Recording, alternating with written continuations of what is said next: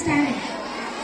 Respected principals and teachers, parents and all my dear friends. First of all, I wish you a very happy Independence Day. I feel great pride to present this speech. This day is the most important day for all of us. Because on this day in 1947 we got independence from the British rule. Friends, our great freedom fighters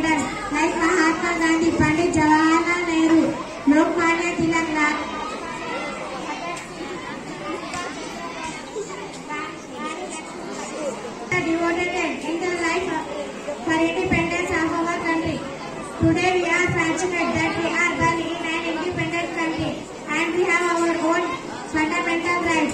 Our freedom is priceless and our brave soldiers fights continue. to protect our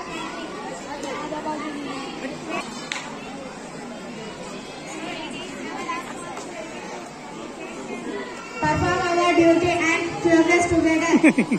For the team, together and powerful in Thank you.